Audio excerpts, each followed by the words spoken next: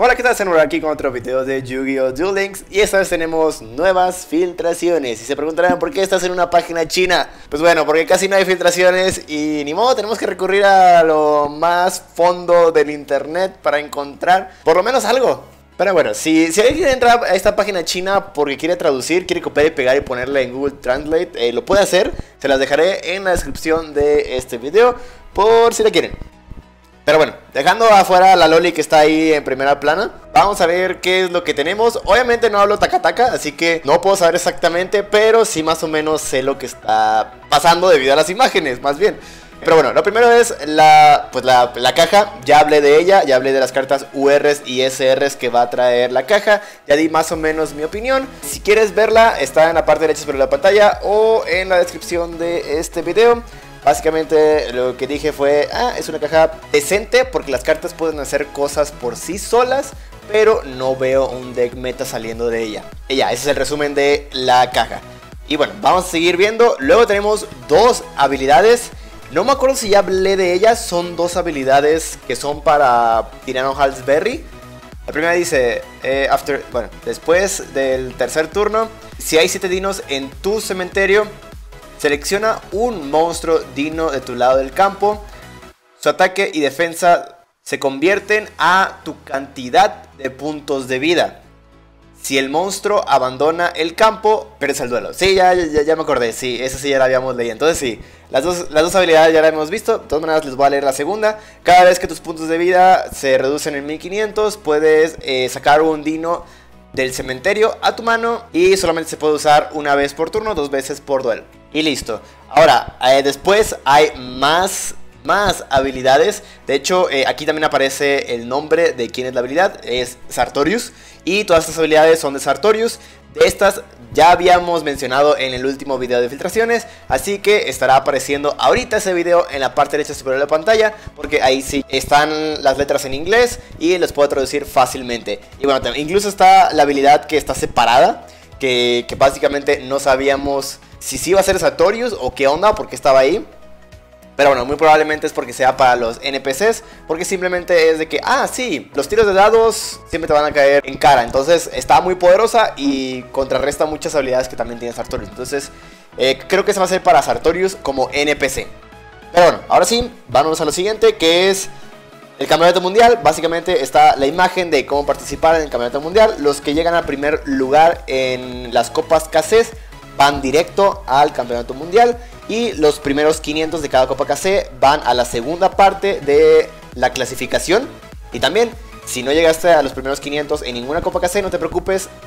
Cuando esté el campeonato mundial va a haber la primera ronda. Y si subes al nivel máximo así como en las copas KCs eh, pues ya clasificas a la segunda ronda. Y dependiendo de quiénes sean los mejores de cada, de cada región son los que se van a ir al mundial ahora sí y bueno, ya también ahí confirman que es agosto 10 y 11.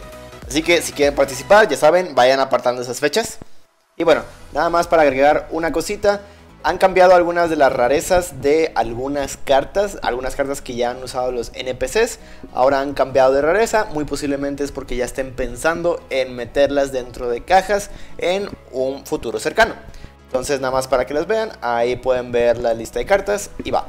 Y también otra cosita que han mandado, pero que el mismo Jan que lo puso eh, dijo que tomaran las imágenes con desconfianza porque no se podían corroborar, ya que no están ni Soft ni Yasan.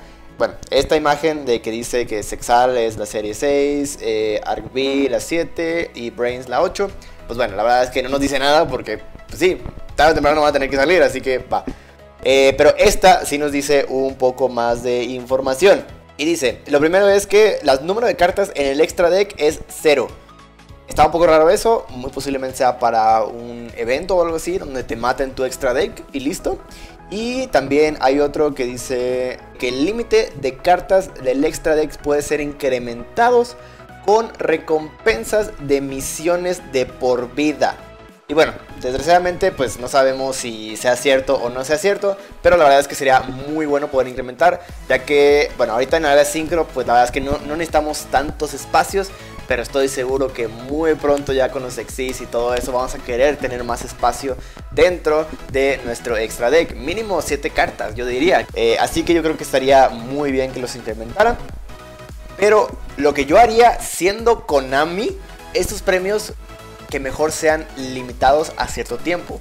Eso quiere decir, ah, durante enero, febrero vas a tener este evento en donde si logras terminarlo, damos un espacio de extra deck.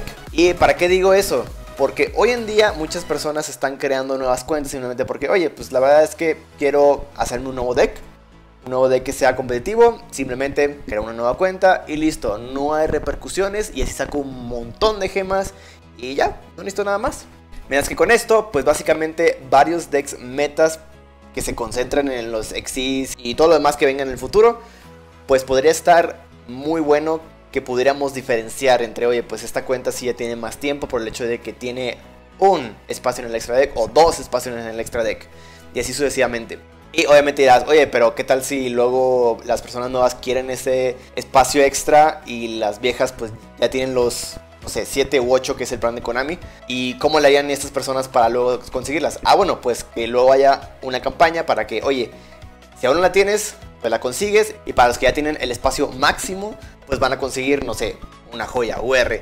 Yo creo que esa sería una muy buena adición.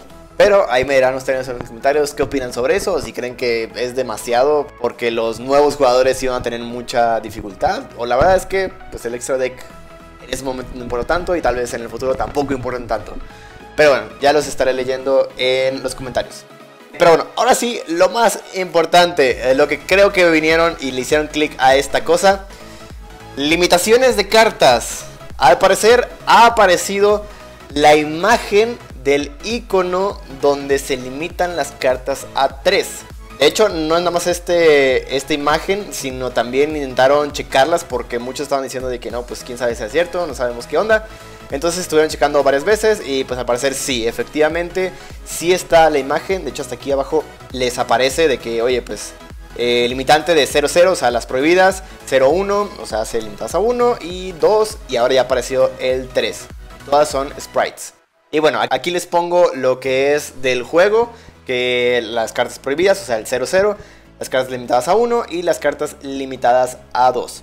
Pero bueno, volviendo a lo que es esto, lo que conlleva, muchos van a decir, oye, pero pues limitada a 3, ¿para qué? Si de todas maneras podemos usar tres cartas de cada una, entonces limitada a tres no tiene ningún sentido. Y bueno, aquí primero tengo que explicar cómo es diferente el TCG al Duel Links para los que no sepan. Simplemente es, si hay una carta que esté dentro de la lista, nada más puedes usar una, dos o en este caso tres de esas cartas dentro de toda la lista. Eso quiere decir, ejemplo, estas primeras, esta y esta están limitadas a uno. Yo nada más puedo meter o esta o esta. Solamente puedo meter una de ellas. Meto una, no puedo meter la otra. Es la diferencia con el TCG. En el TCG, si están limitadas a uno, ah, ok, puedo meter una de esta, una de esta, una de esta, y así sucesivamente, ¿no?